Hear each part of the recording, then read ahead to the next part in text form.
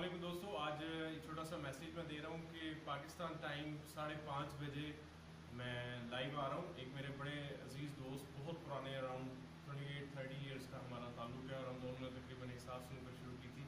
तो उनके साथ कुछ डिस्कशन करेंगे शाम साढ़े पाँच बजे इसी रूम में आप लोगों के साथ, और आपके क्वेश्चन आंसर्स का भी जवाब देंगे, और कोई टॉपिक एक सोचेंगे हम, और उसके ऊपर, बल्कि आप सजेस्ट करें, जिस टॉपिक पे भी आप बात सुनना चाह रहे हैं, उनसे जो भी बहुत सीनियर प्लेयर भी हैं